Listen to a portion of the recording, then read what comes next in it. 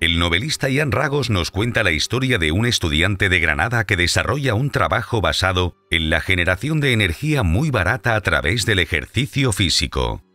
La trama se complica con la intervención de ejecutivos de una compañía eléctrica, el mundo político y la mafia del narcotráfico. Ya a la venta en editorialcirculorrojo.com.